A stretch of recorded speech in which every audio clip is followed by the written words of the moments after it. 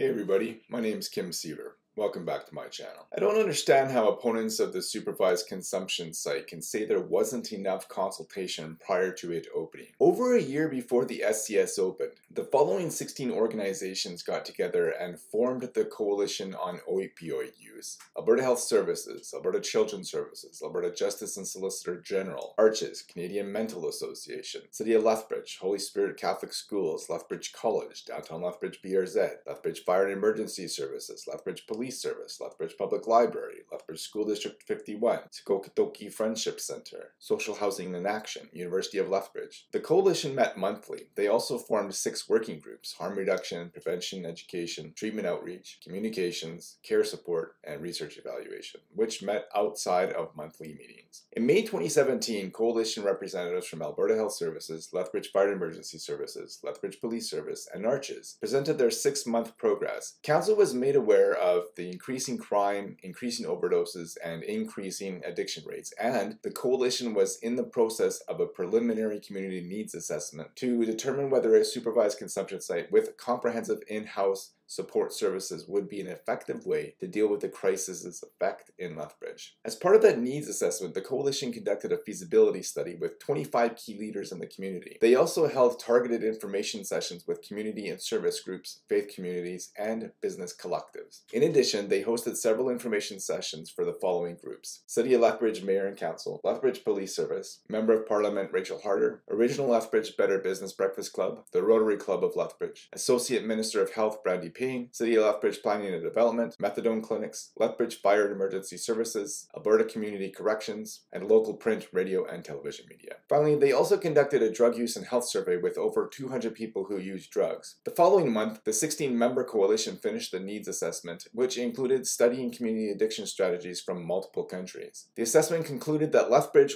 could benefit from a supervised consumption site. Also in June, the coalition held stakeholder sessions with law enforcement, emergency medical responders, corrections, and others. In July, they hosted nine community discussion sessions for the broader Lethbridge public at the following locations Crossings Library Branch, Lethbridge College, Alberta Health Services, City Hall, and Boys and Girls Club. Over 100 people attended the community sessions and had opportunity to ask questions and provide feedback. Concurrently with the stakeholder and community sessions, the coalition posted an online survey open to the public, keeping it up for about a month to receive feedback on a potential supervised consumption site. A link was provided on the city website, on Arches' Facebook page, through Arches' mailing list, and pamphlets left at the community discussion sessions and handed out on the street by Arches' staff and volunteers. Plus, various people, groups, and organizations shared the link to the survey on social media. Over 220 people responded. They also publicized an email address where people could send their feedback. With the assessment complete and significant community consultation, the coalition proceeded to the application stage, and Arches applied to Health Canada on the coalition's behalf at the end of July. As part of the application process, the coalition posted an ad in the Lethbridge Herald, which was required by Health Canada, to which people could submit feedback. What else do opponents to the supervised consumption site think the coalition should have done?